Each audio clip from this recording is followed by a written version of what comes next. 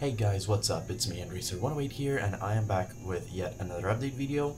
And all I wanted to say is that uh, I didn't prepare a video for this week because I was on holiday, so um, I didn't really work much on the game, so I don't really have anything different to upload.